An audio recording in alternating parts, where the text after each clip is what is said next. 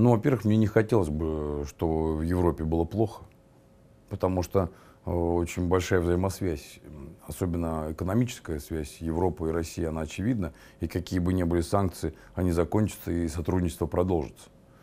Да и оно сейчас есть, если, насколько я знаю, даже обсуждалось э, вхождение немцев на КАМАЗ, э, целый ряд сообщений о совместных проектах с Германией, то есть в России.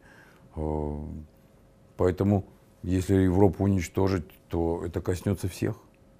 Ни для кого же не секрет. Вот. Вопрос, почему это Англии не касается. Англия как-то в стороне от всего этого.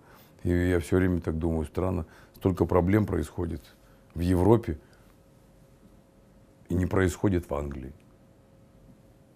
Я понял, ну ладно, в Америке не происходит, это недалеко, как говорится. Вот. Но мне вспоминается Вторая мировая война, Первая мировая война. И каждый раз накануне Европа была очень сильна. Германия была, была очень развита. И каждый раз ее что-то подкашивает. Уж не Англия ли это? Вопрос старается не дать Европе стать сильной. Если это так, то мне очень просто больно осознавать. Но всю, всю историю развития России мы были в отношениях с Европой нормальных в данной ситуации.